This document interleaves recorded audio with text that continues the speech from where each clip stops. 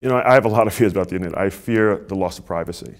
Um, it is still seen by far too many people as a domain of other than minorities, of other than women, of other than poor people, and it's got to be about all of us.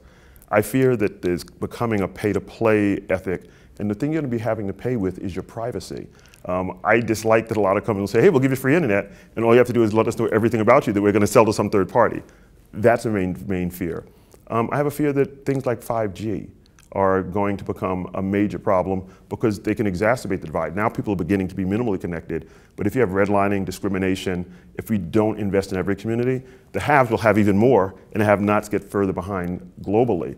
I fear that the term that I help become, make become famous, digital divide, has become politicized. Um, the FCC, this particular FCC now uses it to mean only rural. There are 5 million American households um, that are rural households that don't, that don't have broadband internet.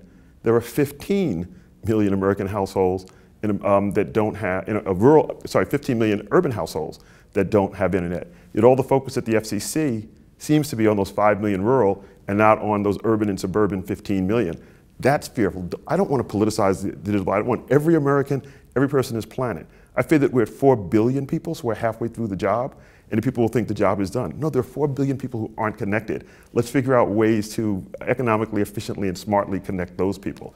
Fear about all of those things, and I don't know that there are enough people thinking about them and working hard every day to get the work done we need to do and to pull out the politics. This is about humans.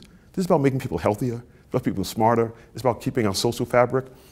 You know, it's about not destroying our democracies around the country by using internet for nefarious purposes.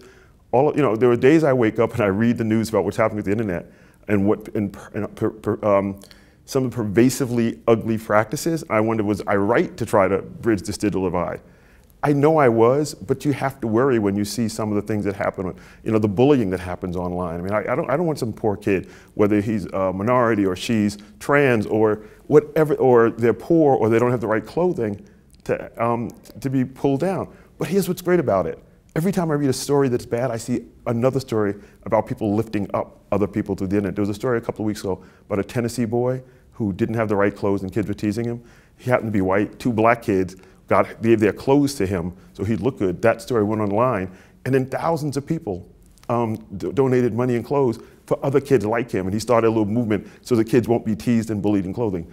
That's internet at its best. So I, I have all these worries, and, but I'm one of those you, you, uh, always optimistic people, that there's nothing wrong with the internet that can't be fixed by what's right with America. Uh, I'm, you know, I'm paraphrasing the old adage that there's nothing wrong with America can't be fixed by what's right with America. There's nothing wrong with the internet that can't be fixed by what's right with the internet. It's up to us, the keepers of the flame, people who care about this, to make sure that that happens.